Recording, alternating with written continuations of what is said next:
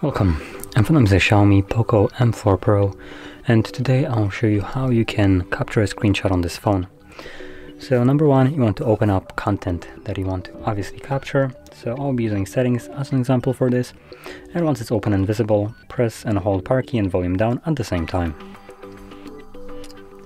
This will give you this pop-up right here, so you can send uh, the image or scroll it. Now, you don't actually have to do anything, the image was already captured, so if you just tap anywhere on the screen, it will disappear and you can find that image in your gallery. Now if you want to, for instance, capture a scrollable screenshot like I just pressed, uh, it will take you right here and it automatically starts slowly scrolling down, but you can tap on the screen to stop it and you can do it yourself, uh, quicker and more precise. Once you have scrolled down however far down you want to go, click on done, select allow, and tap on the checkbox to save it. And that image can now be found in your gallery application. Now, keep in mind that when capturing a scrollable screenshot on top of the normal one that you have captured, it will override the normal one with a scrollable one, as you can see right here.